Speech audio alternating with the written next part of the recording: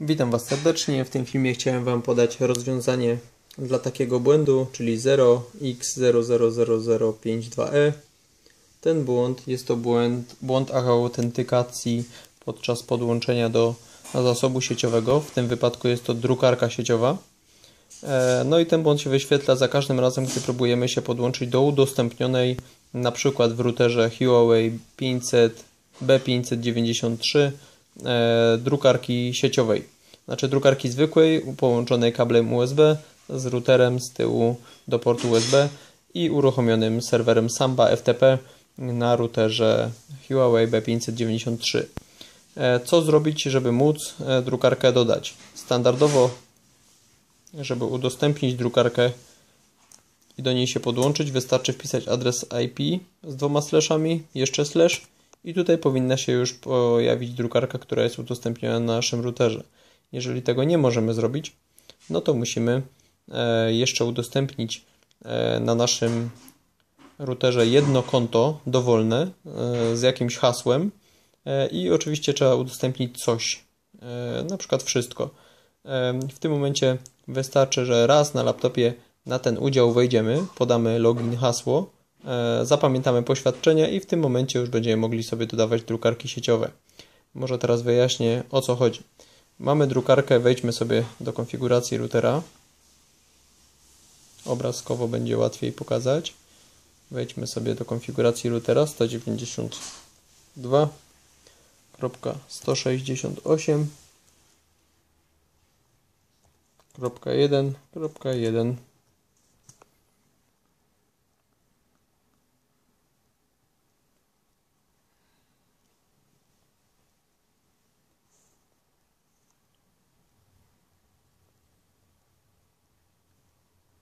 O, przepraszam, mój błąd. 160, brakuje szóstki. OK.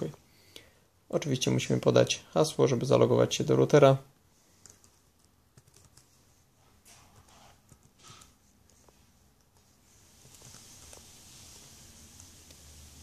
OK, już jesteśmy w konfiguracji routera. W routerze wchodzimy sobie w ustawienia. Ogólne ustawienia. I tu mamy zarządzanie USB. Zobaczcie, sam serwer udostępniania jest uruchomiony. Mamy podłączoną drukarkę Canon MP550 Series i ta nazwa powinna się wyświetlić zaraz po slashu, po adresie IP, gdy dodajemy sobie drukarkę sieciową. Czyli tutaj. Jako, że się ona nie, nie wyświetla, a my jeżeli tą nazwę sobie tutaj skopiujemy, zobaczcie,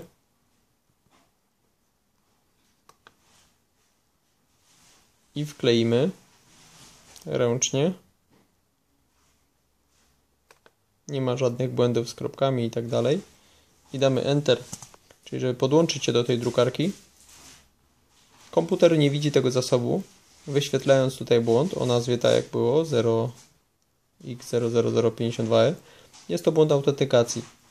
Żeby nasz komputer mógł się połączyć z tą drukarką, żeby po prostu wszystko automatycznie fajnie działało, musimy mieć udostępniony jakiś zasób. Tutaj sobie wchodzimy użytkowanie, przepraszam, ustawienie użytkownika.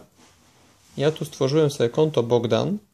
Jak, e, wszystkie ścieżki są udostępnione, tak więc wszystko, co router udostępnia, jest udostępnione. Kliknąłem sobie po prostu dodaj pozycję, pisałem Bogdan, hasło, tu jest Bogdan01, hasło powtórzone Bogdan01. Wszystkie ścieżki Dzięki temu wszystko, co jest podłączone, czy to będą pendrive, jakieś dyski i tak dalej, tak jak jest. Można sobie tu jeszcze tylko zaznaczyć e, odczyt zapis, tak żeby kompletnie wszystko było udostępnione w ten sposób. Czyli te konto będzie najważniejsze, zastosuj. Ja już to zrobiłem, stąd właśnie te konto tutaj z pierwszym indeksem. I teraz, jeżeli my chcielibyśmy się podłączyć do tej drukarki, żeby ten błąd już się nie wyświetlał, wystarczy, że otworzymy sobie po prostu komputer, i tutaj u góry wpiszemy sobie e, slash slash 192 168 168.1.1 slash Bogdan. Bogdan, czyli ta nazwa tego udziału które sobie udostępniliśmy. Jeżeli w ten sposób sobie wpiszemy, wyświetli nam się komunikat oczywiście, żebyśmy podali login i hasło. Loginem jest znowu Bogdan, a hasłem będzie Bogdan01, tak jak sobie ustawiłem. Jak już widzicie, pojawiły się zabezpieczenia systemu Windows, aby podać hasło sieciowe do tego udziału. No to wpisujemy Bogdan. Pamiętaj, trzeba małe, duże litery, wszystko ma się zgadzać. Jeżeli wykonamy tą operację i jeszcze klikniemy sobie tutaj zapamiętaj moje poświadczenia, to system na tym koncie użytkownika, na tym e, użytkowniku w systemie będzie pamiętał e, dostęp do routera i według tego konta, czyli ma dostęp do wszystkiego, będzie miał dostęp. Zobaczcie, także do dodawania drukarek sieciowych. O, w tym wypadku jesteśmy na koncie Bogdan, tu nie ma nic. Jeżeli byśmy pendrive'a podłączyli pod e, naszego routera, to oczywiście tu by była zawartość pendrive'a. OK, ale wejdźmy sobie tutaj z powrotem do głównego konta i jak już widzicie, jako że wszystko na tym koncie mamy udostępnione, zobaczcie jeszcze raz, tu pokazuję, czyli tu Bogdan, wszystkie ścieżki są udostępnione, czyli i pendrive i, i, no i wszystko. Edytuj. Pokażę może te konto. Bogdan, hasło jest Bogdan01 i jak widzicie tu jest wszystkie ścieżki, odczyt, zapis, wszystko jest po prostu udostępnione. Dzięki temu w chwili obecnej, jeżeli ja takie konto miałem, przed chwilą się na te konto zalogowaliśmy, zapamiętaliśmy poświadczenia, to jak widzicie mam dostęp i do tego całego udziału, i do drukarki, z którą mogę się w każdej chwili połączyć. Albo w ten sposób, albo już w tamten sposób, gdzie błąd wyskakiwał. Zobaczcie.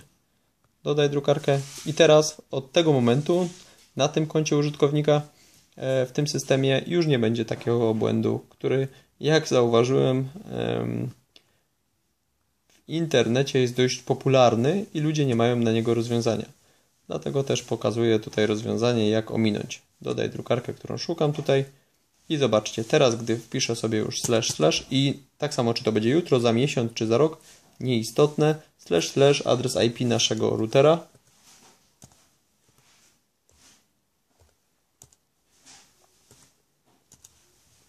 Zauważcie, że teraz, gdy kliknę slash, wcześniej to nie działało, objawiało się potem tym, że nawet jak wpisaliśmy ręcznie nazwę, no to ten błąd wyskakiwał. Gdy teraz kliknę sobie slash, to zobaczcie, że udział zaraz sam się pojawi. Trzeba chwilę poczekać. O, Windows już y, ma dostęp, y, bo raz się zalogowaliśmy, zapamiętaliśmy poświadczenia i od tego momentu Windows już y, sam będzie miał dostęp do całego routera, do wszystkiego, co udostępniamy za pomocą portów USB, a mamy akurat w tym routerze B593 dwie sztuki, więc możemy i pendrive'a, albo dysk zewnętrzny, albo na przykład dysk zewnętrzny i drukarkę, tak jak w tym wypadku jest drukarka.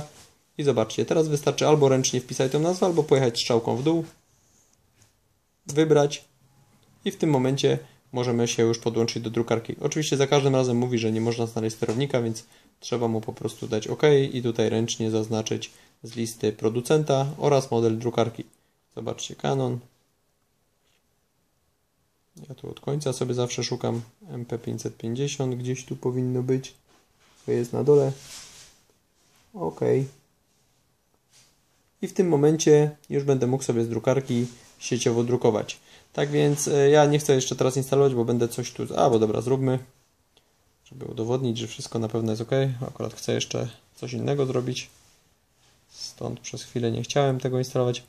I teraz się już zainstalowało, czyli wystarczy kliknąć dalej, zakończ e, i, już drukarka sieciowo jest dodana. Mamy dostęp e, do zawartości folderów. Możemy zmapować także za pomocą jakiejś literki dysku E, na przykład właśnie mm, ten zasób, jaki tam mamy, e, drukarkę już mamy zmapowaną, możemy na niej drukować w dowolnej chwili. Jeżeli chcielibyśmy zmapować ten zasób, o którym mówiłem, to wystarczy sobie wejść na przykład w mój komputer, kliknąć lewy, lewy alt. I tu mamy opcję mapuj dysk sieciowy, jeżeli chcielibyśmy go zmapować na przykład jako dysk, nie wiem, z S, Oczywiście podajemy w ten sam sposób. Slash slash 192 168.1.1 Pamiętajcie, że już sobie zapamiętaliśmy tamte uprawnienia. Tak więc nie, jak teraz kliknę sobie tutaj slash, no to oczywiście co tu powinienem wpisać? 3, 2, 1, może zgadniecie? Oczywiście nazwę udziału, a nazwę udziału była nazwa użytkownika, czyli Bogdan.